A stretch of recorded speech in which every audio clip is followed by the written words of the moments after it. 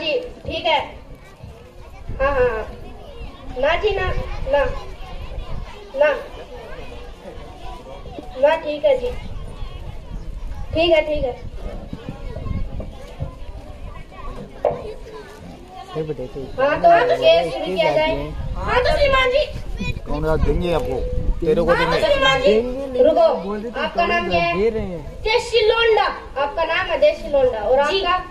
गबरू जवान। आप ये आपका नाम है गबरू जवान। तो आप बोलिए गबरू जी हाँ तो श्रीमान जी इनके क्लाइंट ने मेरे क्लाइंट महेंद्र प्रताप चौधरी के घर से 10 अक्टूबर रात ग्यारह बज के तीस मिनट पे 10 लाख रुपए 10 सोने के कंगन चा- पहले पूरी बात तो सुन ले।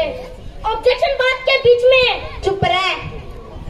हाँ तो श्रीमान जी हुआ यूँ कि इनके क्लाइंट ने मेरे क्लाइंट महेंद्र प्रताप चौधरी के घर आगे बोलिए हो गया। दस लाख रुपए दस ये भी हो गया।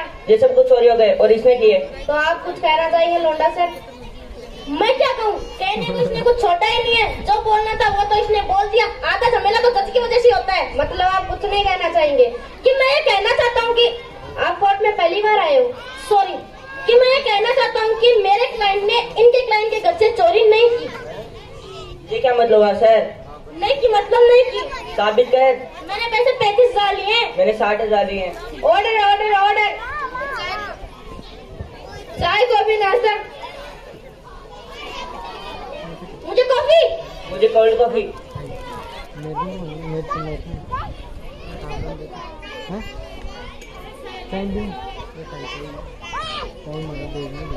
मैंने तो कोल्ड मांगी थी ये तो गर्म है। अरे एक बार वो मारो मेरे साथ कोल्ड हो जाएगी हाँ तो आप बोलिए लौंडा सर।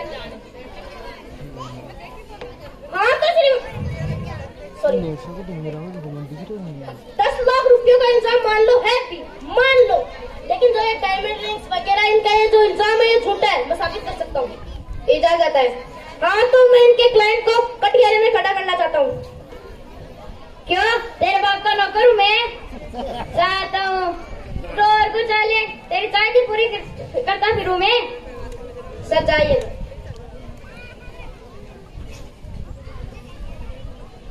बंद क्या हुआ फ़ोन हाँ तो महेंद्र प्रताप जी, उनका सुपुत्र भानु प्रताप चौधरी मैं। जी, जरा आप डिटेल में बताएँगे कि आपके घर से क्या क्या चोरी हुआ है? दस लाख रुपए, दस सोने कंगन, चार डायमंड रिंग चार मंगलसूत्र।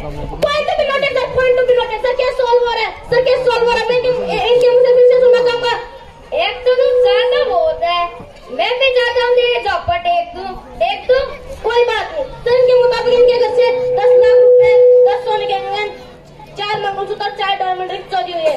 लेकिन मैं आपको बता दूँ कि इनके घर में चार पीढ़ियाँ रहती है इनके दो बेटे हैं जो भी कमा रहे हैं उनका बाप उनका उनका दादा उनका परदादा तीनों के तीनों विधवा है विधवा मेरा मतलब रंडू है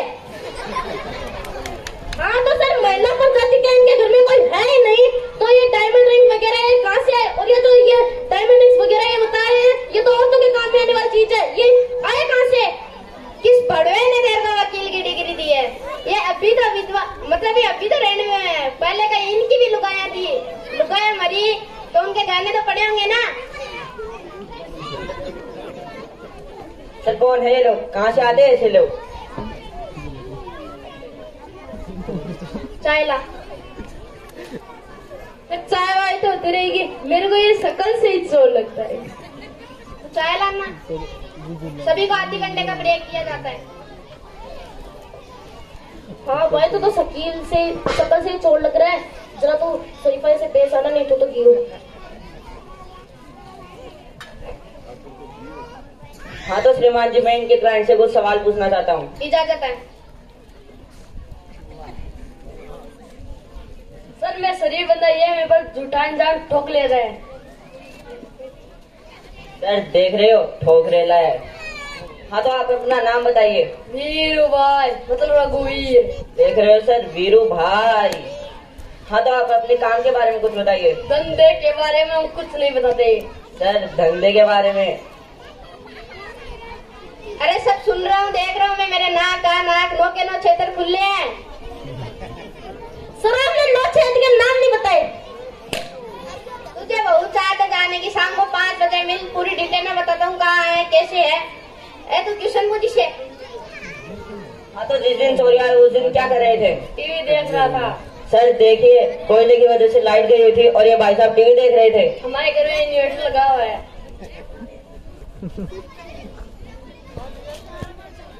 क्या है ये क्या चल क्या रहा है कोई मुझे चल क्या रहा है? सर मैं बताऊँ ये क्या चल रहा है? ये क्या चल रहा है? मैंने जैसे पूछा। फिर तू आ जा यहाँ पर। खड़े हो।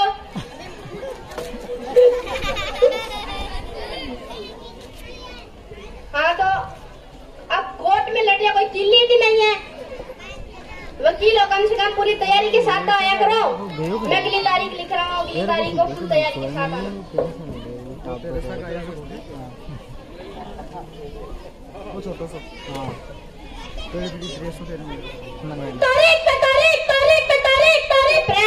पहली बारी तारीख दे रहा हूँ। सज्जू मेरा बाप का नौकर गली तारीख पे सारी टिकट खा जाऊँगा मैं तेरी। जय हिंद भारत।